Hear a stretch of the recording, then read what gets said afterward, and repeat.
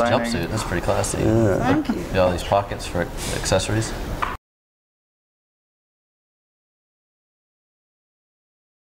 pretty sure this was a intense collaboration between the two of you. Yes? I don't know that intense is the right word, but it was uh, very uh, in depth. Yeah, I mean, I felt like there was it was quite light. I mean, I got I got a chance to get out there a month early to get comfortable with David and his process, and mm-hmm. I felt like there was a lot of joy on the set. I know sometimes the movie has a darkness to it, but we were all in a really, in my opinion, a really positive place. You're kind of known for getting deep into your characters. So I guess you have to collaborate with the director in doing that, no? It was more about getting in sync with his process, with David's process, which is a magical one where you can do the dialogue as written and then he'll volley something at you like say I want you to say Mexican uh, TV station that's what I'm talking about you play with that or do some improvisation or then do the whole scene without any dialogue so you get the reduction of just the look with all the emotion behind the look he was also someone that was open to any ideas, like if we want to go back into the book and find something, cherry pick, put it back in the script, or if I had a stupid story from my past where someone said a cigarette lighter, well, if it's the right lighter with the right sound, you can get hookers, which is so ridiculous, but I thought that was such a politically incorrect thing to say to a 15 year old kid that it would be funny as hell and also really tragic. So he would let me do all that. So did you were you drawn in initially by the script or the character or the director? Or all I, three? I was uh, all of it. I mean, I, I'd waited a year to find the 100 point script. Professor Hawkins' script was the script that I felt I, I didn't have to act. I understood Joe. And I flew out to Austin to meet with David, and I was, I just wanted to know how enthusiastic I was about this, and we really needed to make this movie.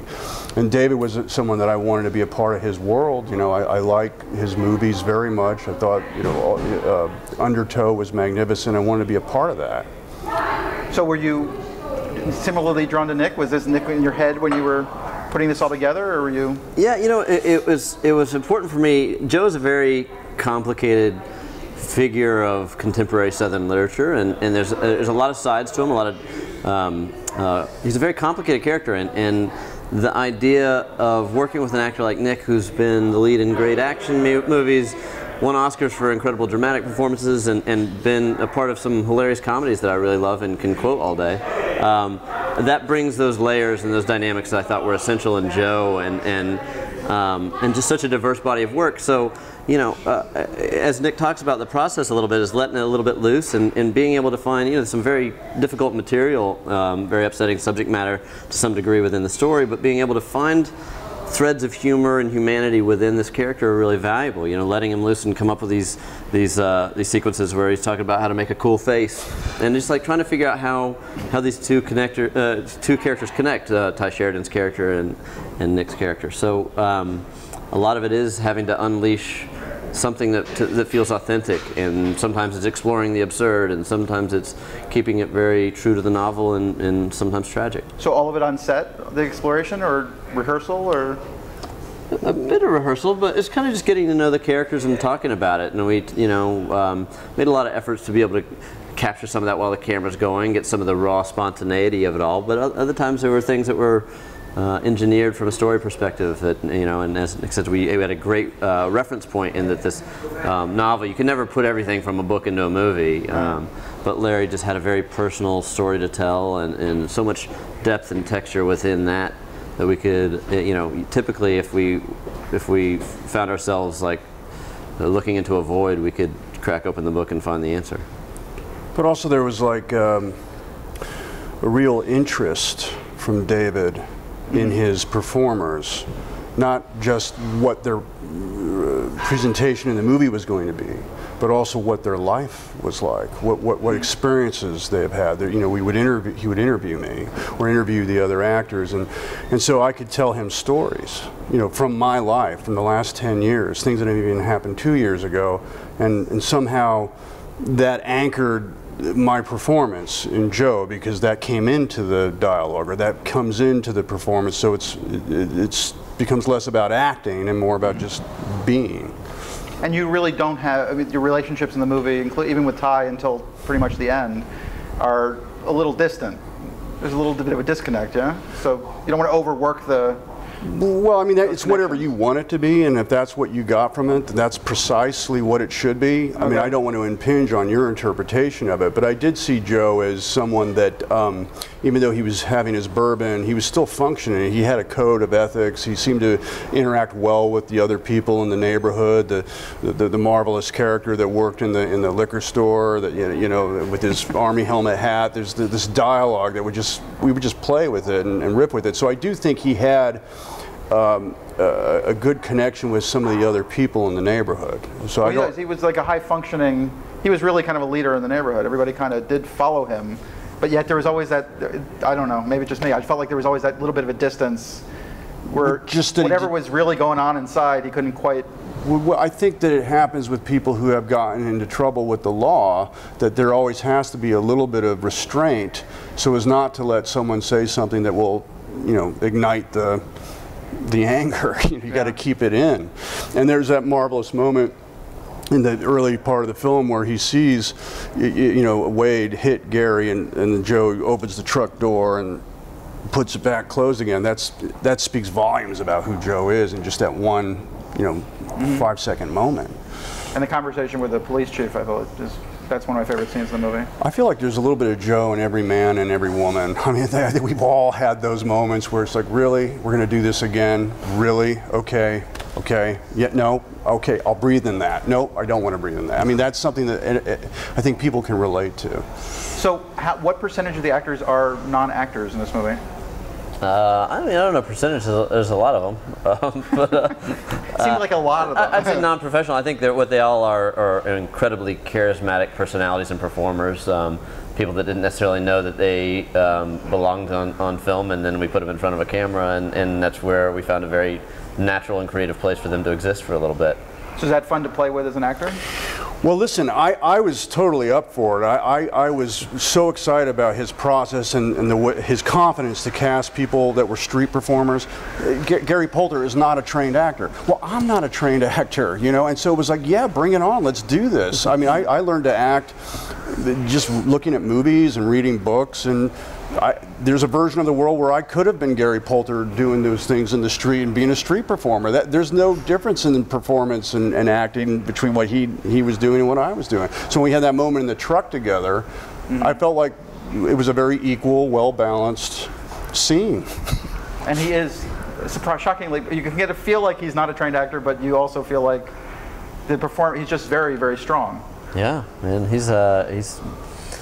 I I would say one of a kind, but it's just because you don't know. Uh, there's a lot of there's a lot of doorbells we don't ring in this in this world and in this industry to give people opportunities to be themselves and exhibit the talent that they have naturally. And and Gary was a a, an, a magical uh, success story in that way, where um, a very unlikely.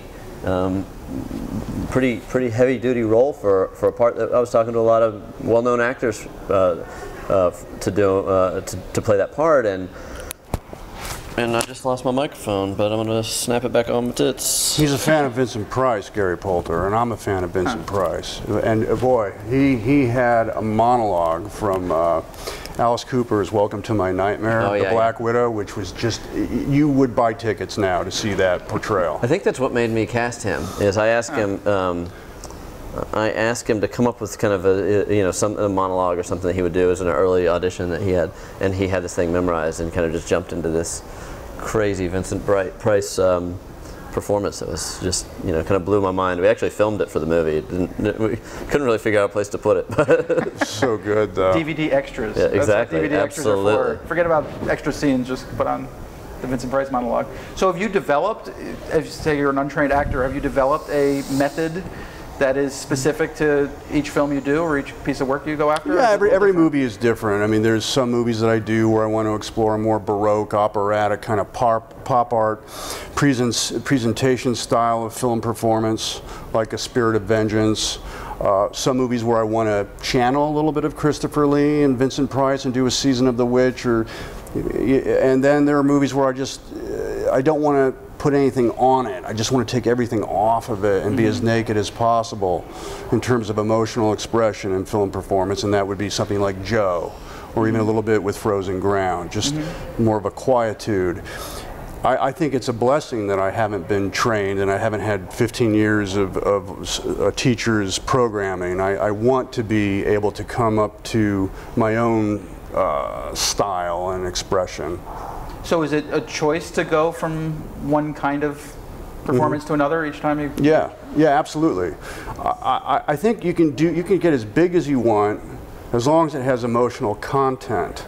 The words over the top I take a little bit of umbrage with because that means you're out of control in some way. Everything is by design. Mm-hmm. And but if I do that for a while, let's say I, I go towards Western kabuki and I've done that, then I want to say, okay, I've done that, let's try this now. And let's get oh, I've got life experience. I'm going to be 50. Uh, What can I take from the last two years of my life and put into a performance or a character where I understand him so well that I don't have to act? And I waited a year for that script, and that was Joe. When I got Hawkins' script, Joe, I said, "This, I understand this man. Mm-hmm. I don't think I'm going to have to act so much with this." Mm-hmm. Well, it's funny because you could do another movie with David and do the over the top or not whatever we're using kabuki Outside the box, thing. kabu- Yeah. anything, yeah. But I mean that's the thing. It's Western like Kabuki, I like that. David, well, but it's funny because the other directors, some of the other directors that you've worked with, like the guys who did uh, Spirit of Vengeance or whatever, you kind of expect that high, a certain thing. Yeah. And David actually kind of plays to all fields, I think, more than most directors. As long as you, yeah, well, I would love to do something like that with David, you know, and he understands how to work with actors, so I'm sure it would be really something special. But I- I, think as long as there, you, you know, as long as there's a reason for a character to go to Western Kabuki, I think Western audiences will understand it. If you've sold your soul to the devil and your head blows up into flames and is a skull, you can get pretty big. you can get pretty Western Kabuki. Or if you're high on crack and you're a corrupt New Orleans cop like Bad Lieutenant, you can get pretty big. But Joe was just having a little bit of bourbon every now and then, and he was you know, living his life, and so I I felt like there was a more of a quiet approach to that that David and I worked on together. Well, Werner had an interesting. We talked to him about uh, Bad Lieutenant, and that it was kind of like he, everybody else was kind of set in stone, and you were the only one who was allowed to go to Kabuki. And that was his whole design for the movie. Drug-fueled Kabuki. Yes, you would drag him through. right. well, I got a, I was a little hard on Werner. Um, he uh, he had the same accent as my great grandmother, hmm. and my great grandmother would see these California commercials about Cal Worthington and his dog Spot. And just passed away. Yeah, yeah, I didn't know that, but he would say, "Go see Cal, go see Cal, go see Cal." And my grandmother, in her inability to understand the translation and, and the filter of her heavy Germanic accent, thought it was "pussycat, pussycat, pussycat," and kept saying that. And I would look at her, and I just, I, I just made me so angry, and I, I, I started mocking her and doing "pussycat, pussycat." So she took a wet rag and threw it at my face. but every time, that shut that off. But every time Werner would talk. It, I think that did more for the, the anger of the bad lieutenant character because it mm-hmm. reminded me so much of my great grandmother, who I love, but that's where the energy came from there. Well, that movie, I mean, that, that's a particularly memorable movie at this festival because a few years ago we were here and it was a very serious year, a lot of very serious films, and then a few we went to go see Bad Lieutenant and it was like this kind of breath of fresh air because it was so much fun. It was Yeah, just like well- absolutely joyous, insane movie. Yeah. Well, I also have to give credit to Kinski because I knew what Werner, his tolerance was for insane acting. So I knew with Kinski, who I'm a fan of, that I could go to those levels with him. But David was just easygoing comparatively. Just chilling. D- David, no, David had his own unique process, and, and you know he put me in the room with Gary Poulter and with like uh, uh, predominantly African American uh, uh, work crew where we were all poisoning trees together. These guys weren't you know actors, but and yet they're they they have so much charisma, and I was able to like spend a month with them and. We got a flow going where there was a comfort there, like we've been working together for years. But that's not something that I've ever had before with any other film director. You know, that's like a unique experience for me, which is why I consider the process of Joe one of my most memorable ones. So do you think you would go into more uh, with a lot of people out there now making smaller and smaller movies that are not as experienced as David at this point, but do you think you would be interested in playing more in that field? If somebody had, you know, a vision and was as original and enthusiastic as David, but I think David's unique, you know, it's not, you don't get to work with someone like him all the time. As we sit here complimenting him, I can see him just falling into the pillows. just, well, it's just honesty, you know. yeah. I, did I hear things behind me? Um, so it sounds like the mo- actually doing the show was very relaxed compared to what it felt like on screen? I liked, Martin Sheen once said to me, and I didn't agree with him at the time. I was watching Deliverance with Charlie Sheen years ago in Malibu before anyone got famous. And Mar- Martin came into the room, and I think he had just gone through a heart attack on Apocalypse Now. Hey. And he said, uh, All that matters is do you like the people you were working with, and do you like where you were? That doesn't ha- and I said, that's not right, but it- the truth is, he is right. That's mm. really all that matters. And I liked the people I was working with, and I liked where I was. I liked working with in Austin, I liked working with David and his team, and I liked all the actors I was working with. So that's why I feel like it was a great experience. so do you not look back at your previous work and judge it, or see it in the context of how it did at box office or how it did? I only look at my movies twice out of respect for the birth of the, the movie and out of respect for my colleagues, but then I have to move on. I don't go back. If the movie comes on uh, on television at home, I shut it off because I don't want my kids seeing that, and I just I have to go forward. But emotionally, you're done when you're done. You're Done. Done. on to the next thing. Right.